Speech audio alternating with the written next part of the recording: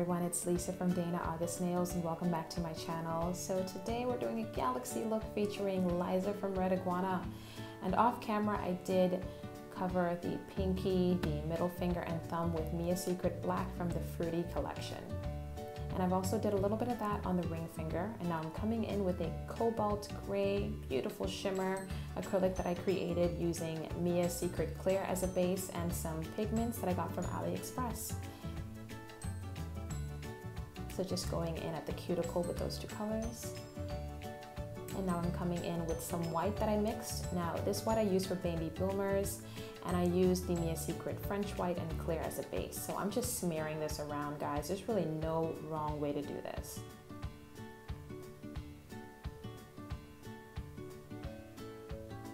Now I'm going in with some blue. Also, again, using the same AliExpress pigments, Mia Secret Clear, and this is all a beautiful shimmery blue. It's so beautiful, so pretty. And some purple, yeah. And I'm working with really wet beads and it was kind of hard. I didn't know if the colors were gonna come through or not, but in the end they did.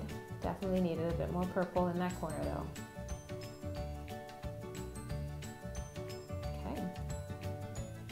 So more of the Mia Secret Black just at the free edge and also gonna follow that up with some more of that um, cobalty shimmery gray. I'm sorry, my hand keeps getting in the shot. Guys, did I mention I'm new at this? Can, can you tell? Yeah?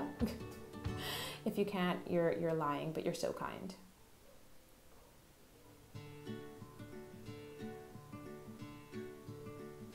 Sometimes, guys, I'm so bad about keeping my side walls nice and thin that um, I'm getting I'm getting better and I'm hoping with more practice that'll even be better than better.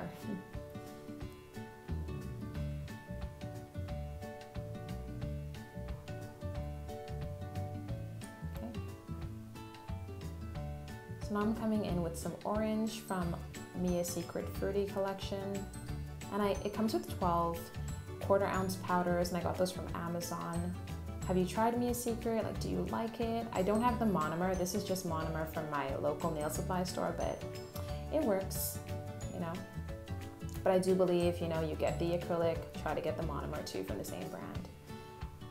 Also gonna feature a little bit of this orange that was also mixed with the AliExpress pigments and Mia Secret White, just to give that orange a bit of shimmer and, you know, some depth.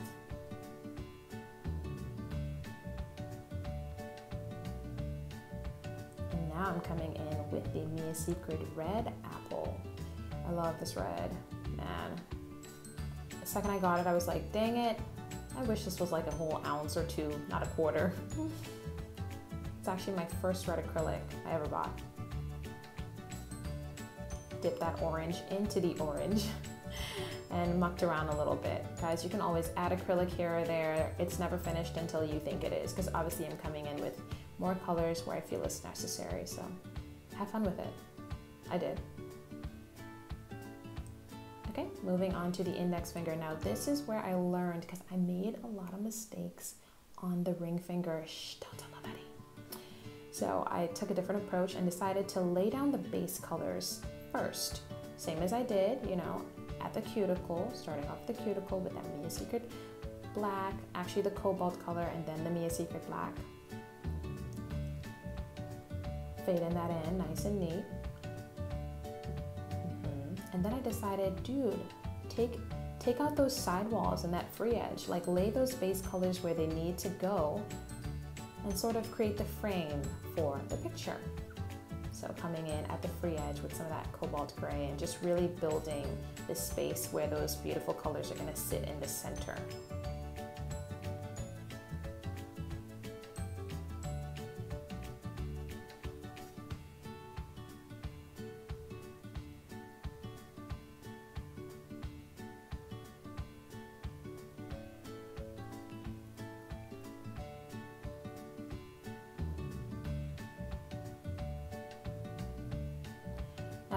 Black is so pigmented, guys, and I did try my best, but I still got it on some of the cuticles. Um, hoping not to do that with clients, but a bit of alcohol goes a long way on the silicone finger, but um, on a real person, yeah, that's not great. I've heard that, it's not great. So more of this red apple from Mia Secrets Fruity Collection. I love this red. It's gonna be gone soon. I love it and I'm sad about that.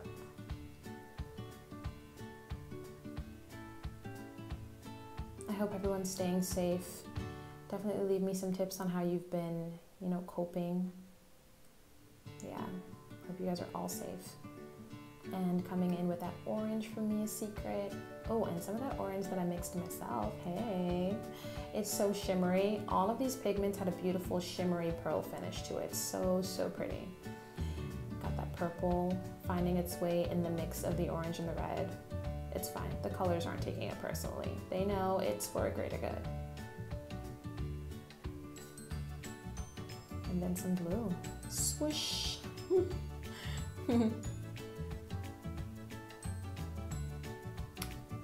some more of that baby boomer white. I actually have this, the top of it labeled as Bayboo. so funny. And just getting that white, you know, wherever to get this look. Guys, I'm in my bathroom doing this voiceover, okay? Three kids, noise central. And then you tell the husband, shh, and then he sometimes make more, no- he makes more noise than the kids sometimes. So bathroom, locked door, I recommend it.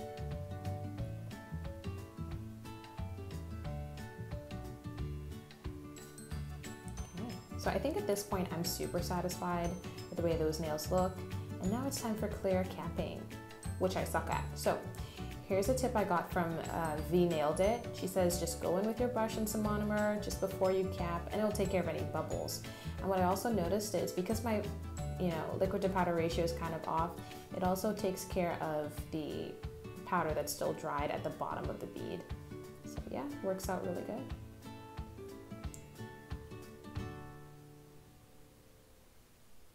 It takes me four to five, anywhere in between 10 beads of clear to cap. Okay, I am so new at this, it's ridiculous. But I love that. Nail journey, man. It is what life stuff is made of, like journeys, getting to a point.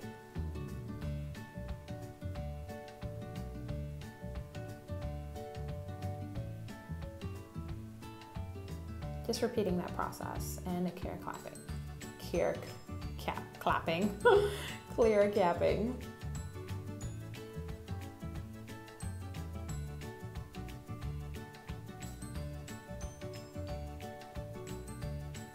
I think I'm gonna go back and forth between these two nails, just trying to achieve like a decent apex and trying to make sure where that is. Super important with with nails in general, but you know, long nails especially. You wanna make sure you got that strength and you know this is info I've picked up from influencers that are nail artists. Okay, all capital letters in this game for years. Yeah. What'd you think about the colors that I used? Did you guys like them? What was your favorite color? Definitely hit me up in the comments. Like, talk to me. What's what's going on? What do you think so far? What is like? What's the opinion? You know.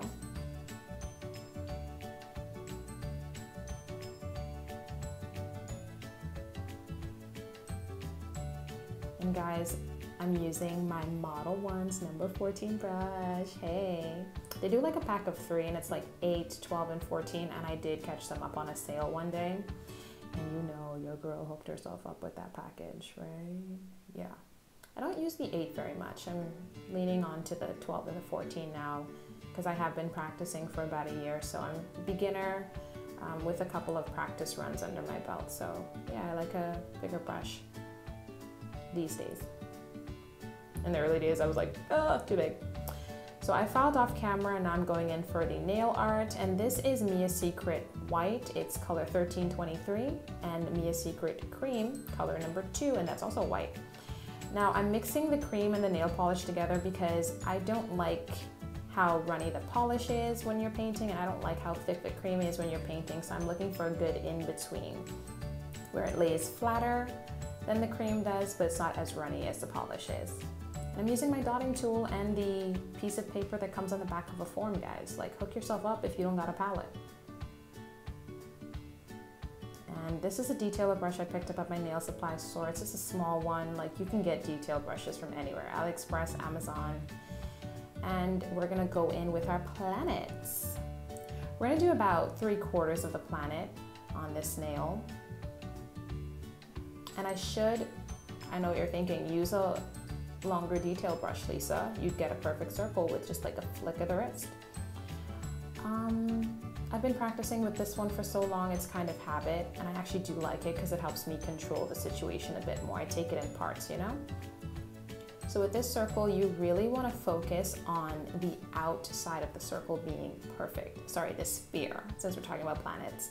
You want to focus on getting the curvature of the sphere on the outside nice and neat. And don't worry about the inside because we're going to fade the planet into itself real soon. It's going to be so cool. And I actually was inspired by a picture that I saw and I'm, I'm so terrible about like this right now with recalling where I've seen pictures, but I'm gonna get better at giving credit where credit's due, posting pictures, um, adding Instagram names and everything. So. Now this number six gel brush actually came in the package with my Modelones cream, gel creams. So using this to blend it out. So as you can see, we're fading that planet in on itself. So see that inner line? Didn't really matter if you like mucked it up, right?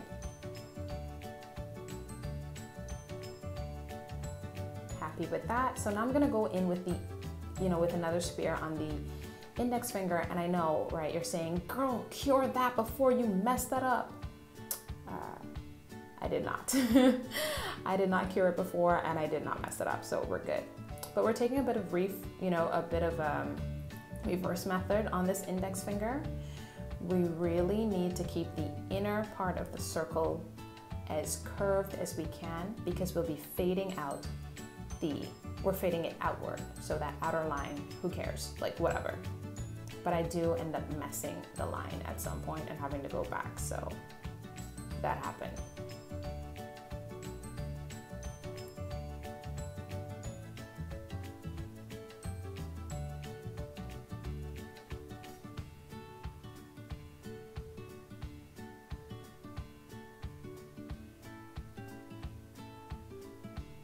Have you guys tried any Modelones products? You know, I'm obviously just starting, so I can't really afford all the expensive stuff. But um, I'm definitely working on my foundation to support my nail art. Like it has to be a solid foundation, like get your techniques down. And then after that, you know, products will work for you if you put in the time to figure out how they work. And with these, you have to do like maybe two coats, three coats, as long as you keep them nice and thin, um, you're good to go. And sometimes you get like little like lines running through, you know, from the strokes of the brush. I just go in with the base gel at the top before I apply top coat just to smooth it out. So yeah, fading that sphere outward with my gel number six brush, also from Modelones. And I don't think I had enough gel, so yeah, mm -hmm, didn't have enough. Had to go go back to the to the supply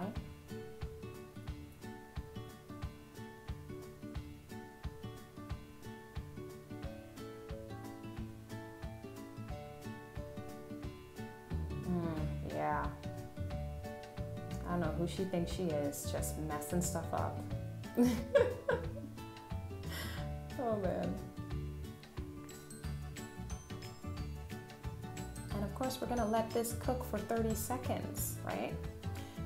Although I wish I had left it in there for 60 seconds because on some portions I did have it bleed a little bit, that white, once I went over with a base coat. So I'd recommend curing the creams for 60 seconds.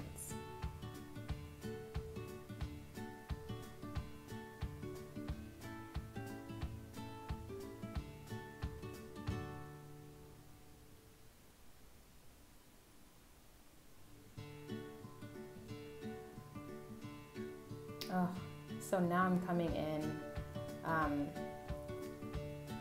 just mucking about. never satisfied.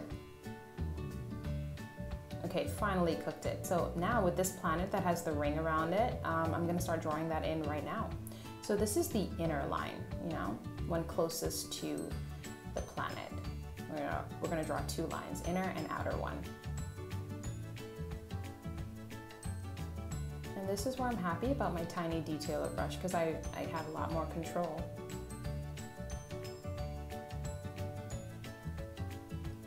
Now we're gonna do that second line, sort that out. And we are going to, once we've drawn these two lines, we're gonna fade them, you know, in the center. Just using the gel paint that we've already got on there to work it. Saves a lot of product, you know?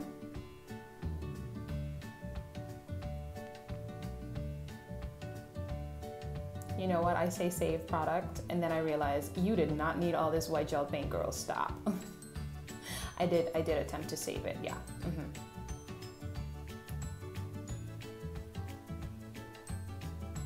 And now we're fading it in.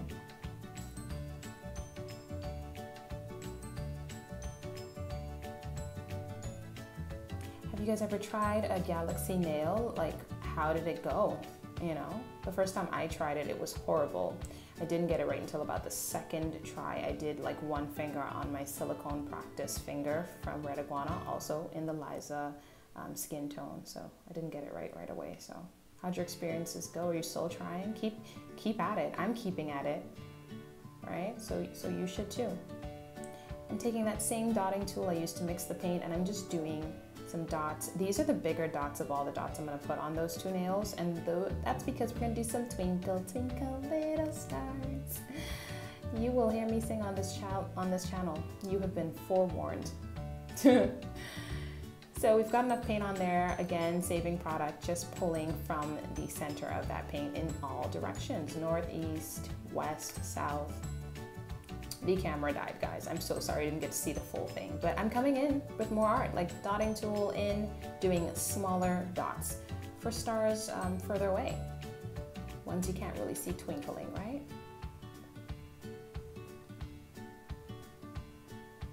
And of course, I'm not gonna cook it right away. I'm gonna go in on the middle finger, the pinky, and the thumb with large dots, like no more than minimum, you know, maximum four and we're gonna do shooting stars on these nails.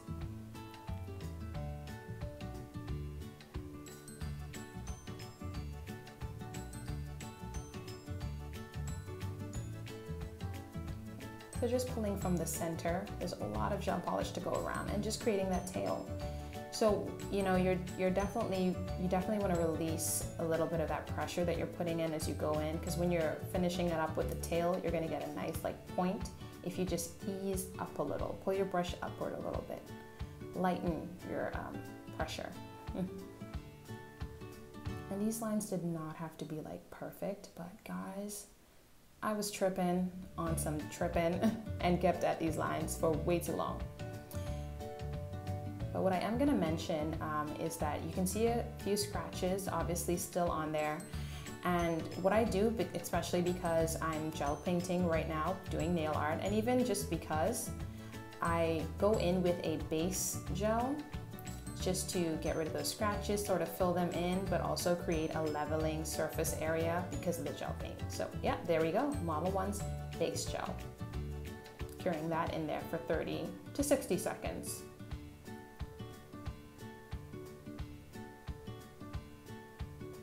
Showing you the one pinky, and then we're gonna pop right into top coat.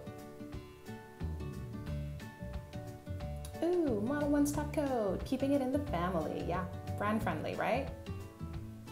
Mm -hmm. And guys, that'll be it for this nail. Obviously, I'm gonna cook these in the baker for 30 seconds. Um, there's going to be a finished photo, so I hope you enjoyed it. Definitely hit me up in the comments. Please like, share, and subscribe. I would absolutely love it if you would. And here's that silicone finger with the first galaxy look. Thanks so much for watching. See you guys in the next video.